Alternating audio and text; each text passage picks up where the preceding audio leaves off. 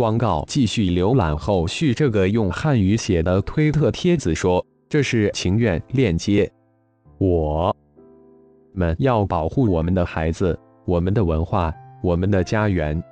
在大饥荒时期，纯朴的牧民收养过上万名汉地的饥饿孤儿，但现在中共对我们这样下重手，草原也已经被破坏的面目全非。”我们再无法忍受了，请您帮助我们，愿神保佑。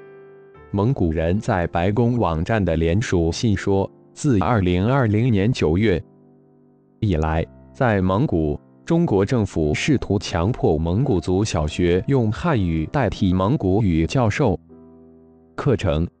当学生家长们反对这个政策，试图保留自己的母语时，遭到警。方逮捕和拘押，也有很多蒙古人因承受不住压力而自杀。这份联署信提出中共这个新政策的三宗罪：侵犯人权、破坏世界遗产、违反中国自己的宪法。一、侵犯人权，因为我们生而平等和独立。教育中如果缺失母语，会导致民族灭种。二、破坏世界遗产。蒙古文在两千零十三年被联合国教科文组织列入世界文化遗产。中共的这项新政策粗暴践踏了教科文组织这项协定。三、违宪。该政策违反中华人民共和国自己宪法中的民族自治法。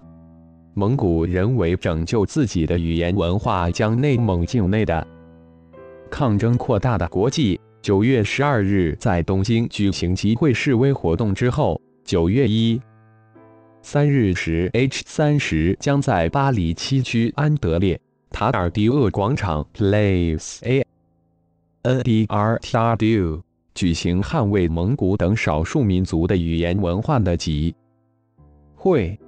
此外，在十月第一个周末，包括维吾尔人、蒙古人、藏人、香港人在内的各族民众计划在巴黎共同集会示威，抗议中共政权对他们的镇压和迫害。中共当局最近在内蒙古自治区推行教育改革，要求蒙族学校以汉语而非蒙古语教授重要课程。导致数万人抗议和罢课。蒙古人担心新的课程会灭杀蒙古族文化。为了捍卫本民族语言文化，许多蒙古族家长将孩子接回家。蒙古族教师、新闻记者、公务员等体制内人士也加入这场抗争运动。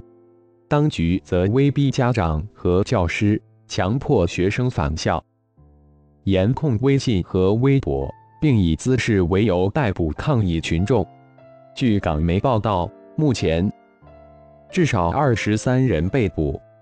据中央社报道，中共这项政策与其在西藏、新疆推行的类似做法相呼应，目的是让少数民族被占优势的汉族同化。